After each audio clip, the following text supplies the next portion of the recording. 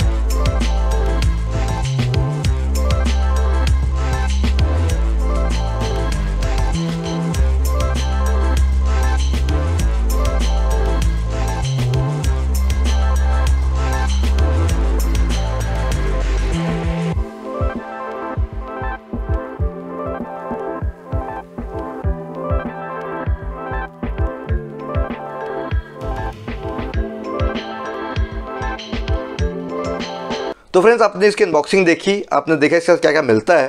अगर आप बात करें डिज़ाइन की तो देखिए ये फ्लेक्सिबल नेक बैंड है और आपके जो बर्ड्स है, ये भी मैग्नेटिक मिल जाते हैं आपको। इस पर कोई power on off on off वाला ऑप्शन नहीं है या फिर प्ले पॉज वाला ऑप्शन नहीं है। तो ये सिंपली खाली आपके सिक्योरिटी फीचर के लिए है कि आप इसे जब गले में वेयर करते हो तो आप इसे अटैच करके रख पाओ। और इनका मैग्नेट बहुत बढ़िया है फ्रेंड अच्छा खासा पकड़ के रखता है, जल्दी हिलता नहीं अपनी जगह से।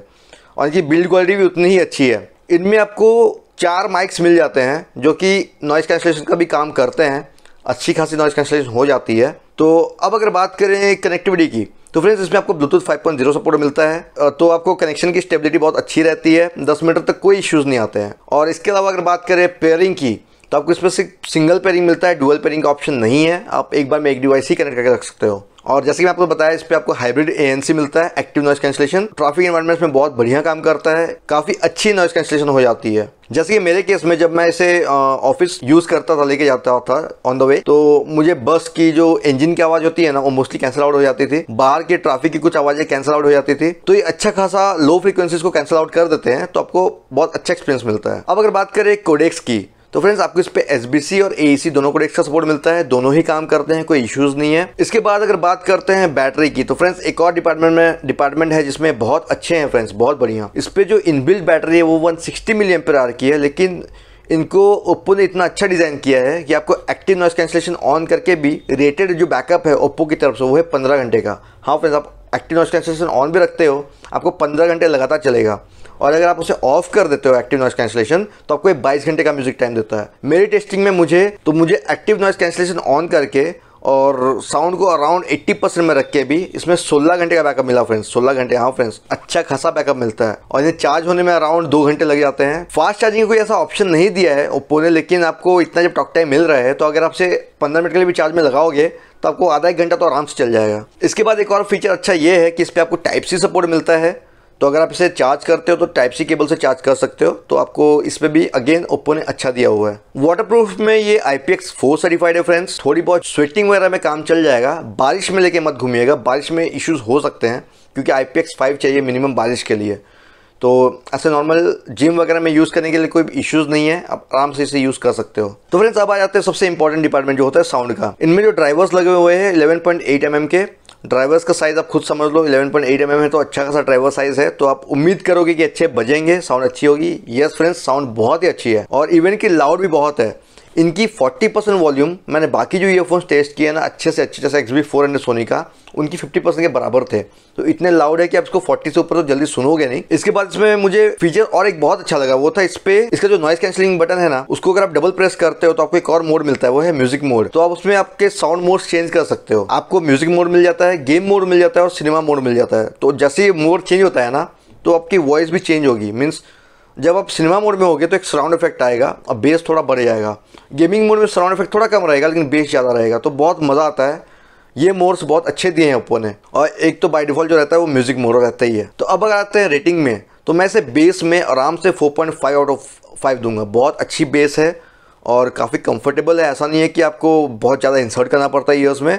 इनका आप जैसे डिज़ाइन देख रहे होंगे, ये पूरे इंसर्ट नहीं करने पड़ते हैं। ये आपके आउटर ईयर के पास ही रहते हैं तो आराम से आप कंफर्टेबल इसे यूज़ कर सकते हो। और बेस क्वालिटी बहुत बढ़िया है। इवन कि मैंने जो वाइपर ऑडियो यूज़ किया बेस बढ़ाया तो उसमें बेस भी बहुत अच्छा खासा बढ़ रहा था। दैट मीन्स इनके ड्राइवर्स और चिपसेट केपेबल है उस चीज़ के लिए। अगेन ट्रेबल्स एंड वोकल्स भी उतने ही अच्छे हैं तो इसलिए मैं साढ़े चार और फाइव देता हूँ ट्रेबल्स एंड वोकल्स में भी। तो फ्रेंड्स अब आ जाते हैं माइक डिपार्टमेंट में।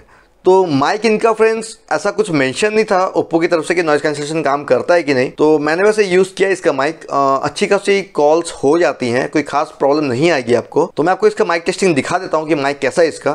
तो फ्रेंड्स अब जो मैं आपसे बात कर रहा हूँ, मैं इनके ही माइक से बात कर रहा हूँ। आपको आइडिया हो रहा होगा माइक कैसा है। माइक अच्छा है फ्रेंड्स क्लैरिटी अच्छी है, इतना खराब नहीं है माइक तो आप इवन इसको कॉल्स में भी यूज़ कर सकते हो, कोई दिक्कत नहीं आएगी। तो मैं आपको दिखाता हूँ आगे कि ये क्लब में और आउटडोर कंडीशन में कैसा काम करता है, वो भी आप देख लें।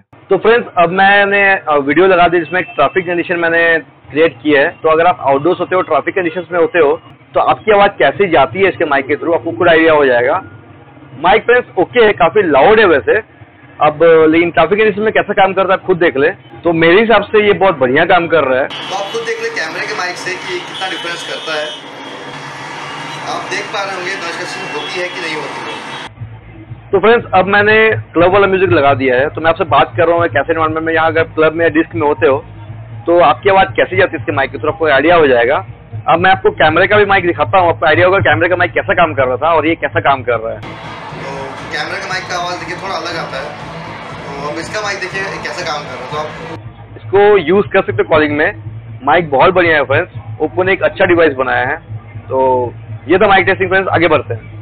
तो फ्रेंड्स अगर आप पूछो कि मैं रिकमेंड करता हूँ ये फ्रेंड्स मैं रिकमेंड करता हूँ, लेकिन कुछ इश्यूज़ है जो मैं आपको बता देता हूँ। एक इशू जो मैंने फेस किया था, पहला इशू वो था कि इनके जो ईयर टिप्स है ना ये अगर आपके किसी रीजन से खो जाते हैं तो आपको रिप्लेसमेंट ढूंढना थोड़ा मुश्किल हो जाएगा, क्योंकि ये टिप्स थोड़े अलग डिज़ाइन के हैं। मैंने कोशिश की थी इनमें दूसरे ये टिप्स लगाने के, लेकिन वो लगते नहीं है। आप इनका जो डिज़ाइन है थोड़ा अलग है तो इन पे इसके ही कंपेटेबल ये टिप्स चाहिए। आपको हो सकता है थोड़ा सर्च करना पड़े। हो सकता है मिल जाए कंपेटेबल लेकिन थोड़ा डिफ़िकल्ट हो सकता है। तो थोड़ा ध्यान से आपको रखना पड़ेगा। दूसरा जो इशू मैंने फेस किया वो था कि इसका नॉइस कैंसिलेशन थोड़ा ना कभी कभी अजीब बिहेव करता था। फॉर एग्ज़ाम्पल जब मैं इन्हें यूज़ करता ऑफ़िस से आते हुए या जाते हुए तो अगर मैं दरवाजे की तरफ़ बैठा था फॉर एग्ज़ाम्पल तो जब मैं म्यूज़िक सुन रहा था और किसी ने दरवाज़ा बंद किया तो ना एक अचानक से इसकी ना आवाज़ लगती है कोई ईयर्स में ज़ोर से, कि वो जो दरवाजे की आवाज़ है ना, वो अचानक से ना बूस्ट हो जाती है तो वो लगती है थोड़ा। तो वो मुझे थोड़ा सा खराब लगा, क्योंकि काफ़ी ज़ोर से झटका लग रहा था ये उसमें तीसरा प्रॉब्लम नॉइस कैंसिलेशन में एक बैकग्राउंड हिसिंग साउंड आती है। मीन्स अगर नॉइस कैंसिलेशन ऑन कर दोगे ना, आपको हल्की सी ना जैसे सी आवाज़, कुछ इस तरह के हिसिंग हिसिंग आवाज़ आती रहेगी बैकग्राउंड में। पता नहीं वो क्यों होता है तो वो आपको एक फील होगा। क्योंकि मैंने सोनी के भी यूज़ किए हैं सी सिक्स हंड्रेड एन उनकी नॉइस आइसोलेशन बहुत बढ़िया थी एक्टिव नॉइस का आइसोलेशन बहुत अच्छी काम करती थी उसकी। इनकी, उनके मुकाबले थोड़ी कम थी। तो अगर इन फीचर्स को आप थोड़ा इग्नोर कर सकते हो वैसे, अगर इनको आप इग्नोर करते हो तो ये बहुत बढ़िया है। बैकअप में बहुत अच्छे हैं साउंड क्वालिटी बहुत अच्छी है, इसलिए मैं रिकमेंड कर तो फ्रेंड्स मैं आपको दिखाता हूँ इन्हें पेयर कैसे करना है और आपको कंट्रोल क्या क्या मिल जाते हैं। सबसे पहले आपको इन्हें ऑन करना है। उसके लिए यहाँ जो जो सबसे नीचे वाला जो बटन है, ये आपका पावर बटन है। तो उसका प्रेस करके रखेंगे। तो देखिए ऑन हो गया और ये पेयरिंग में चल जाएगा थोड़ी देर में। देखिए, ऐसे ब्लिंक करते रहेगा दैट मीन से पेयरिंग में जाते हैं ब्लूटूथ पे। देखिए, आपको ओप्पो एनको क्वाइड नज़र आ गए। इन्हें टैप करना है। अलाउ करना है। अभी अगेन बता रहा है कि एसी सपोर्ट करते हैं तो अगर मेरा एम का phone AC by default connect नहीं होता है तो मैं कनेक्ट कर देता हूँ। अभी एसी में कनेक्ट हो गया। देखिए फ्रेंड्स एसी सपोर्ट मिल जाता है बैटरी परसेंटेज मिल जाता है। तो आपको मैं दिखाता हूँ कंट्रोल क्या क्या मिल जाते हैं। यहाँ जो स्विचेस बने हुए हैं तो आप देख रहे हो यहाँ जो स्विचेस बने हुए हैं, ये वॉल्यूम कंट्रोल्स है, ये नॉइज़ कैंसिलेशन और म्यूज़िक मोड के लिए है, ये प्ले पॉज और पावर बटन का काम करता है, ठीक है? अगर आपको मान लीजिए गूगल असिस्टेंट ऑन करना है, दो बार टैप करोगे देखिए गूगल असिस्टेंट ऑन हो गया। ठीक है फ्रेंड्स ठीक है? अब मैं आपको दिखाता हूँ म्यूज़िक कंट्रोल्स तो मान लीजिए आपकी म्यूज़िक चल रही है। आप इसी बटन से, ये जो पावर बटन है, इसी से आप म्यूज़िक कंट्रोल कर सकते हो प्ले पॉज कर सकते हो। मैं आपको दिखाता हूँ। मैं इसे प्रेस करता हूँ अगर। देखिए म्यूज़िक बजन चालू हो गया। वॉल्यूम कंट्रोल इसके यहीं से कंट्रोल हो जाएँगे ईयरफोन के। आपको इस तरह से प्रेस करते रहेंगे तो वॉल्यूम अप डाउन होगी।